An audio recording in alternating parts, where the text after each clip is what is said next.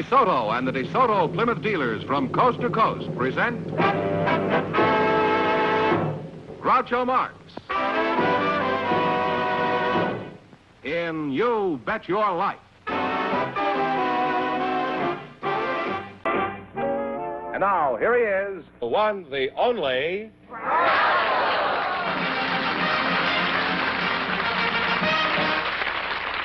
Well, here I'm again with a chance for each of our couples to win up to $10,000.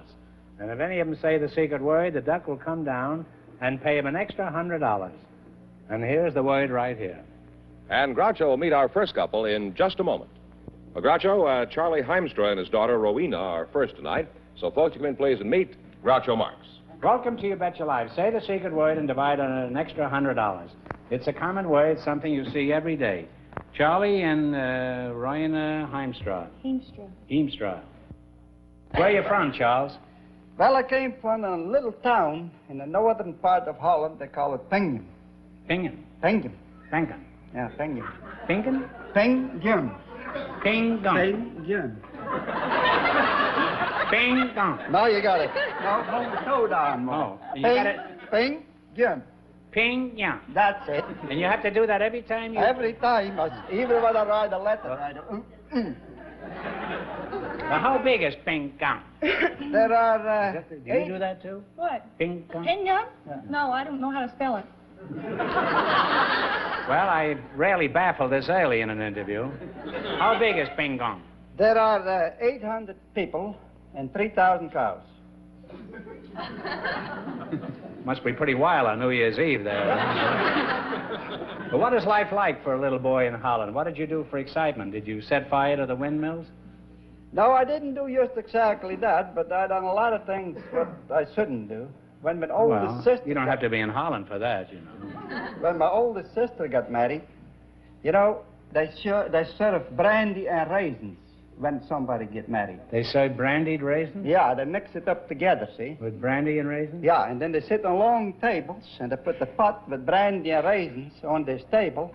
When the party was over, They carried mother- everybody out, I suppose. yeah, my mother said I had to clean up the whole thing and give it to the chickens. and I also fed the brandy and the raisins to the chickens. And boy, did that rooster have a load. And all the chickens was right.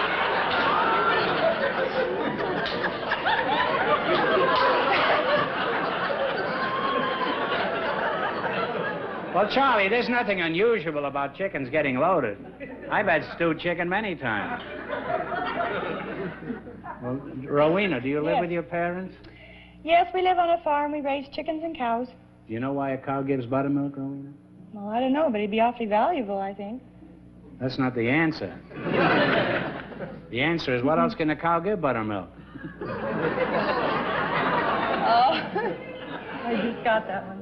How many how many chickens do you have in your farm, Charlie? I got about And how many are condemned? Oh, that is none condemned, but I got 1,500 You got chickens. 1,500 chickens? Yeah. mhm. That's a lot of chickens, isn't That's it? a lot of chickens. How many eggs do you get? Oh, about eight, 900.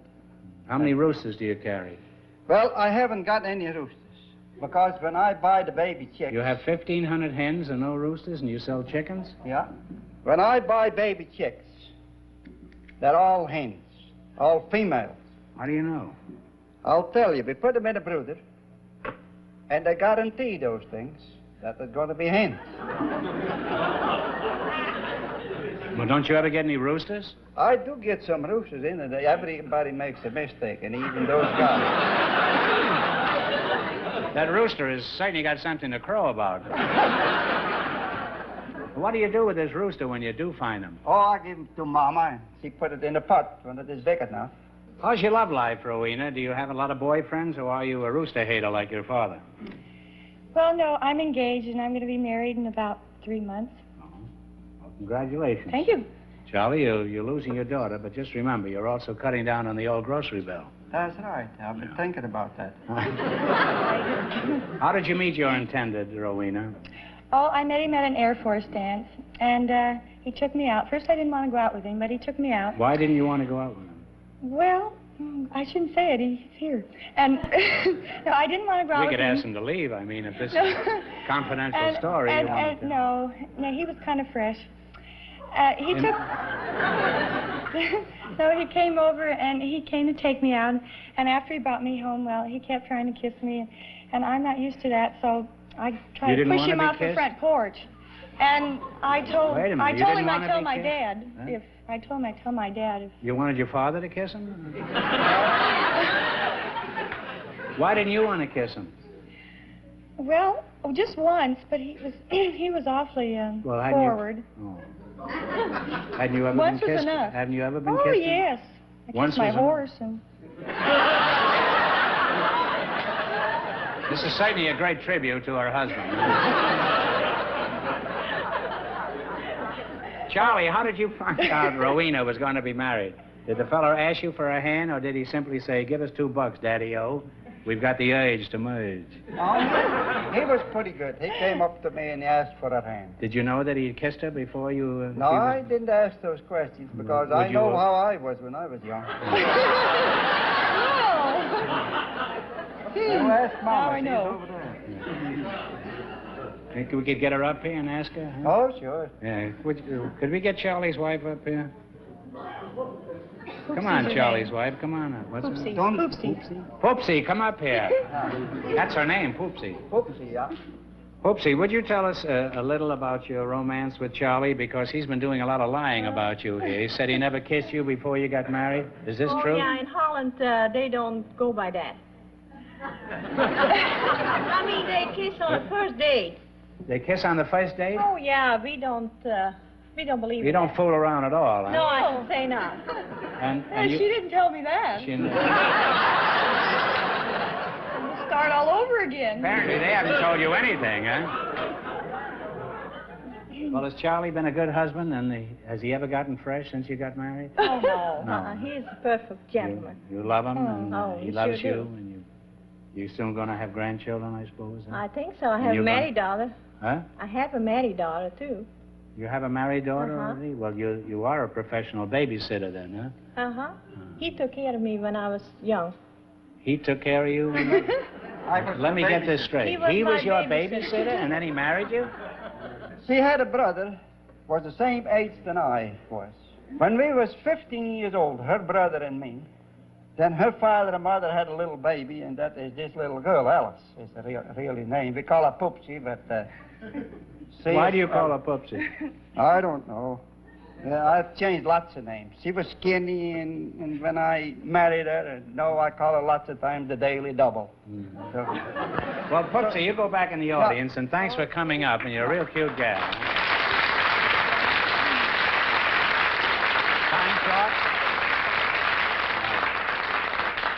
Charlie, do you ever get homesick for the Zuider Zee? There must be a big difference between Holland and California, isn't there?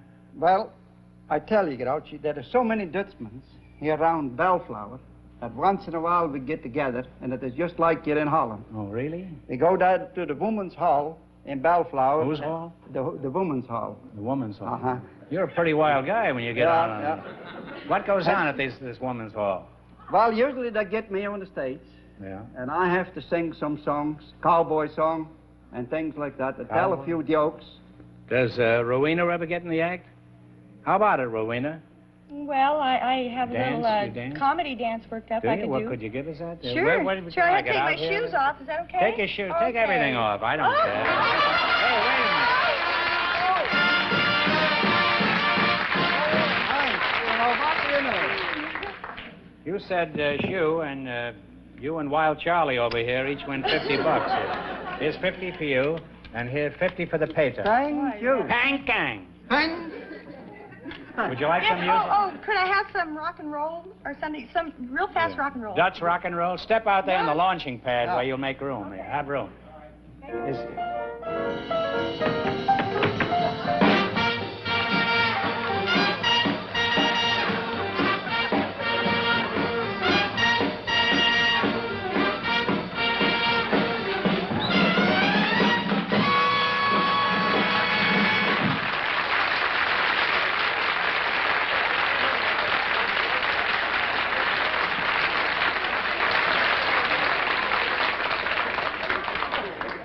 is the girl that wouldn't let that fella kiss her the first time.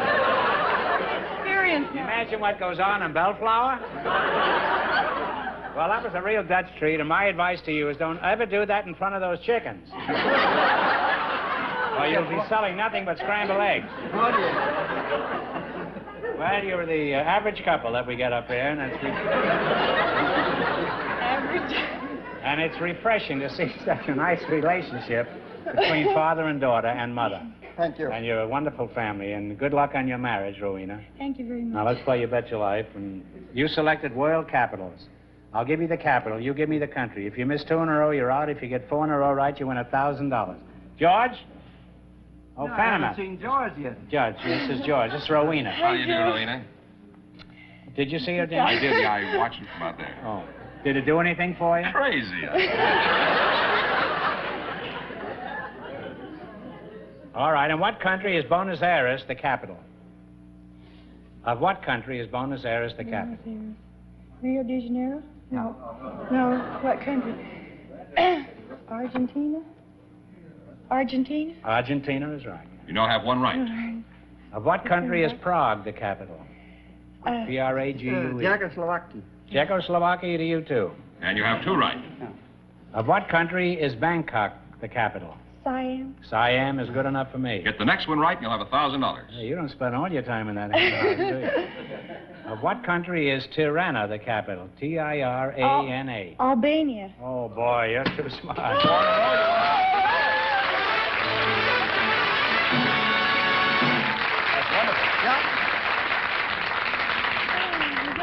Now you've won a thousand dollars. You can keep it and quit, or else you can come back at the end of the show and try to double your money. You know we have a new arrangement with the wheel. You've seen the show, Yeah. huh? Mm-hmm. And you might get a crack at five or even ten thousand. So go over there and sit down and think it over. And thanks for being on the show. Thank you. Thank you, George.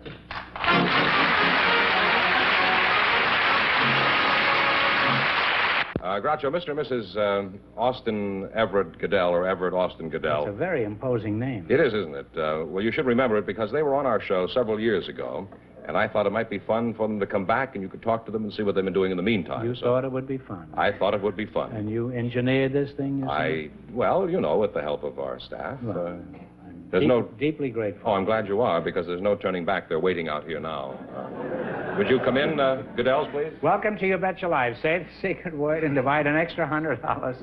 It's a common word, something you'll find around the house.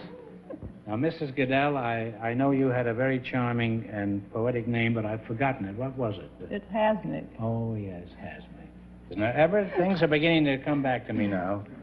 Didn't you tell me you once lived on some lake uh, had a very long name?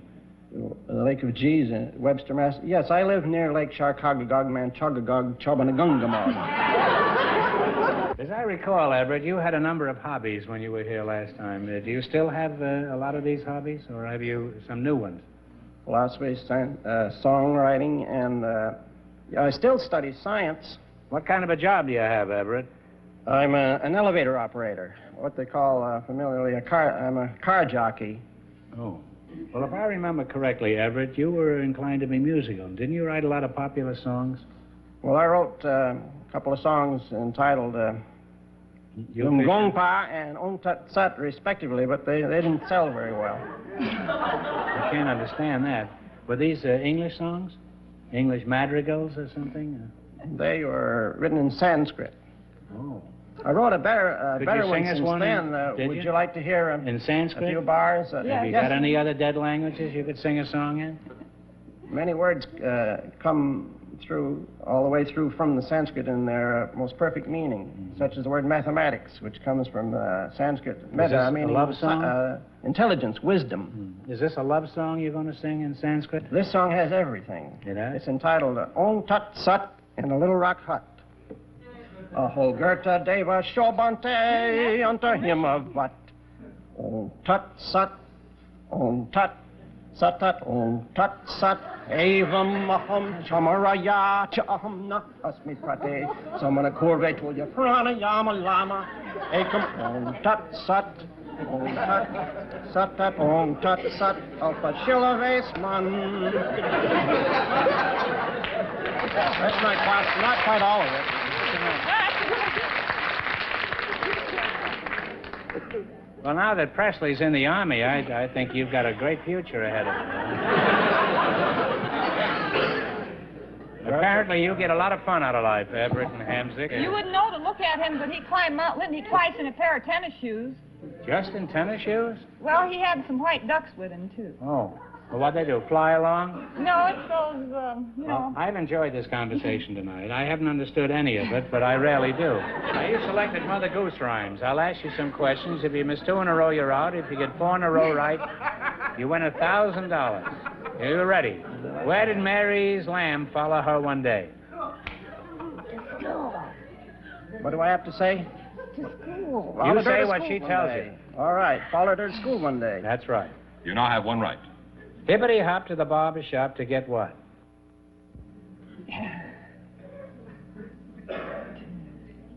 To get a, a A haircut, I suppose. Well, that would be logical, but this isn't logical. This is Mother Goose. Hippity hop to the barber shop to get what? Well, anyway, it's a boy, stick those of... are Mother Goose that I haven't heard for Oh, now come time. now. Hippity hop to barber shop to get a stick of candy. One for me and one for you and one for Sister Annie or something. like Oh, yeah. So anyway, uh, you now have one wrong. One wrong. Now don't get the next one wrong. Who swiped the Queen of Hearts tarts? The The king of hearts, he stole those tarts and took them clean away. The knave of hearts, he stole knave, those tarts right, and the took them clean away. Now you have one right again. All right, now rich man, poor man, beggar man, thief. Finish it. Doctor. Doctor, lawyer, merchant, thief, All right, Indian, no merchant chief. or chief. We have two right now. Seesaw, Margery Daw, Jackie shall have what? A new master. That's right. Three right now. Get the next one right, and you'll have a thousand dollars. Monday's child is fair of face. What is Tuesday's child? Tuesday. Full of grace. Full of grace. You've got four in a row, and you win one thousand dollars.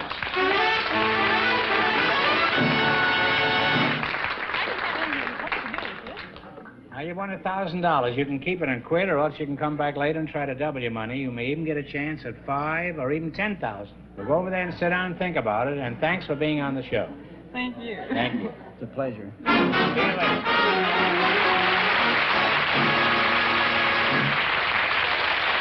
That means that both of our couples can try for the double chance at five or ten thousand dollars tonight.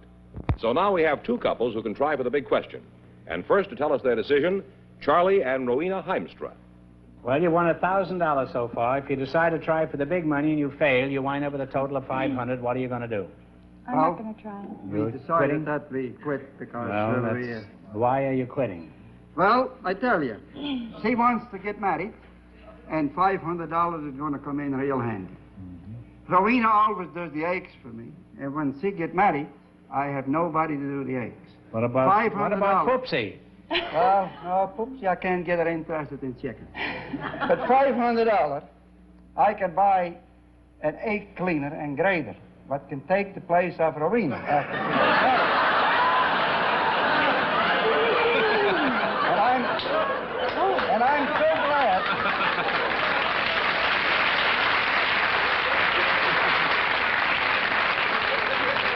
You must admit that the Dutch are a practical people. And I'm well, so, why can't her husband get one of those things then and don't get married? You, you, uh, you make your own decision. We Yeah. congratulate you for winning the thousand, and thanks for being on the show. Yeah. you bet your life, and it was a And- wonderful dance. And this uh, uh, egg cleaner, I'm going to call it the Groucher egg cleaner. I- I- so I remember you every day. I've never had a higher tribute paid. George, bring out the next couple. Mr. and Mrs. Everett Austin Goodell, would you uh, come back out, please? Well, you won a thousand dollars so far. If you decide to try for the big money and you fail, you wind up with a total of five hundred. Now, what are you going to do? We'll try for the. We'll play the wheel. You are going for the big money. Okay, now, you know we have a different arrangement from the last time you were on the show. You get to pick two numbers. Go ahead, and I'll pick the first number, and I'll explain it as we go along. What's the first Decide number? four and five. Four, and you want 5 Four is the first one? Four for ten thousand and five Yes. for five thousand. Is that right? All right. Now, if neither of these numbers comes up, the question is worth two thousand. Okay? Give it a spin. She wanted me to spin. All right.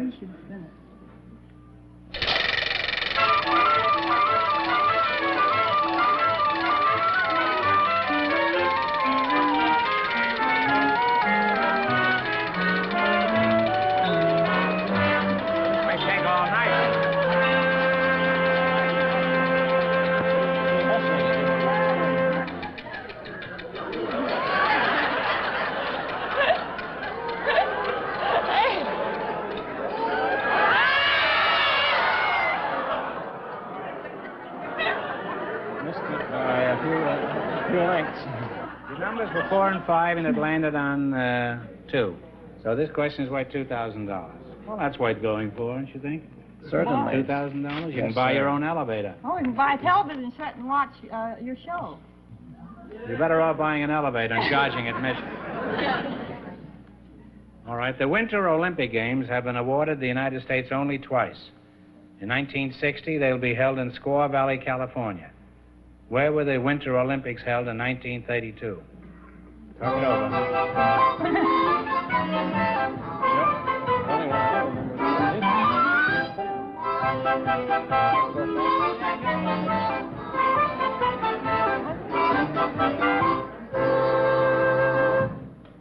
The only, ones, the only ones we remember are um, Helsinki, Finland, No, this is in the United States. in the United States. Well, this was Lake Placid, New York. That's that way. I'm sorry you missed it, but you wind up with $500. That isn't too bad. Congratulations, and thanks for being with us. Thank you, Mr. Martin.